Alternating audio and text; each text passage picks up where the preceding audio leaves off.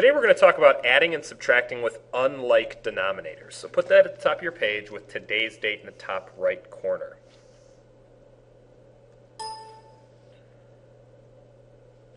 When we add and subtract fractions, we have to keep the denominator the same. For example, if we have 7 eighths plus uh, 4 eighths, we know that the denominator is going to stay 8. In multiplication, you would actually multiply them, but in addition, the denominator stays the same. So we have 7 eighths plus 4 eighths, and that would give us 11 eighths. And then we'd change it into a mixed number for 1 and 3 eighths. Um, so what happens when we have denominators that are different?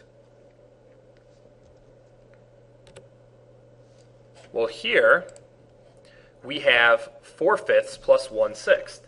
The first method I'm going to show you is just finding a common denominator.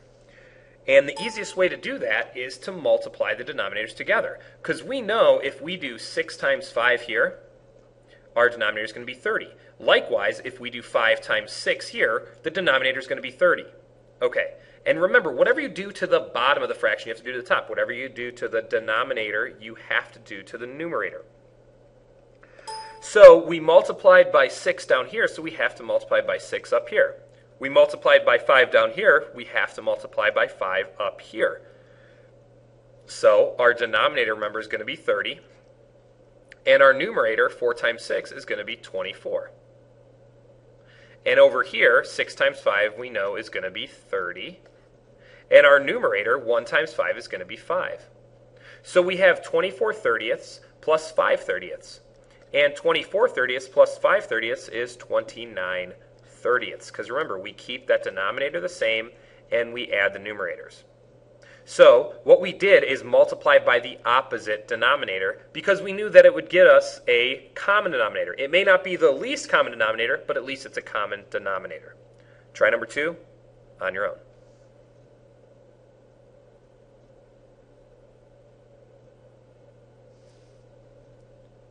Okay, welcome back. So here, we're going to multiply by the opposite denominators. I'm going to multiply this by 7 and this by 8. Remember, whatever we do to the denominator, we have to do to the numerator. So times 7 up here, multiply by 7, times 8 here, up here, multiply by 8. So the uh, denominator for both is going to be 56, and 1 times 7 is 7, plus, remember, again, denominator 56, because it has to be the same when we add or subtract. 2 times 8 is 16. We add them together, 7 plus 16 is 23. Remember, denominators stay the same. Now, I know that I can't reduce this because 23 is a prime number. And unless 56 is a multiple of 23, which it's not because 46 would be, I know that it's not going to be able to reduce. So our answer would be 23 over 56. The next way to do it is to find the least common denominator, the least common denominator. Um, so here, we can't really do this yet because we have to turn these into not mixed numbers, but improper fractions. Okay, so we can't have the big whole number out front. So we're going to do 2 times 6 is 12, plus 1 is 13. So that's 13 sixths, minus still, right? 2 times 9 is 18, plus 2 is 20 over 9. Now, I'm going to find my least common denominator. So to do that, we need to list all the common multiples of 6 and 9. So for 6, we have 6, 12, 18, 24, 30, and so on. For 9, we have 9, 18. Oh, we have one right here. We have 18s, right? So we know that our least common denominator is 18. So what we're going to do is whatever it takes to get to multiply 6 to get to our least common denominator, which is 18, we're going to do that. And we know our denominator is 18, so I'm going to just put it down there.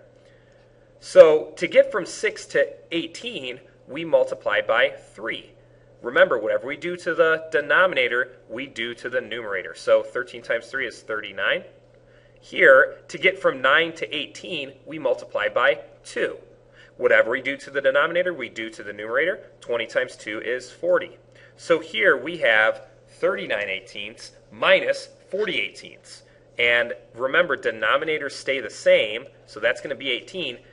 Keep, change, opposite. So 39 plus negative 40, 39 good guys, 40 bad guys, you're left with one bad guy. So your answer is negative 1 18ths. Try number four on your own.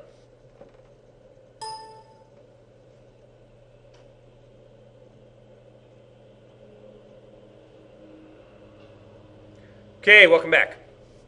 Again, let's change these into improper fractions. 1 times 6 is 6, plus 1 is 7 sixths, minus 1 times 8 is 8, plus 5 is 13 eighths. Let's list all the common factors, or sorry, common multiples. So common multiples of 6 include, like we did up here, 6, 12, 18, 24, 30, 36. Okay. And what about 8? We have 8, 16, 24. Ah, we found it. So 24 is going to be our least common denominator. So to get from 6 to 24, remember we want 24 in our denominator, we are going to multiply by 4. And here, whatever we do to the denominator, we have to do to the numerator.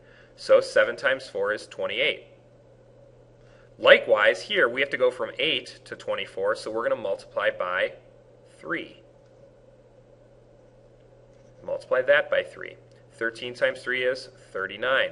Subtract. Uh, remember, denominator stays the same, so we have 24. And 28 minus 39, keep, change, opposite and we get negative 11. So our answer would be negative 11 24ths. So whatever method you want to use, you have to find a common denominator. Whether it's just a common denominator by multiplying the opposite denominator, or it's the least common denominator, it's up to you.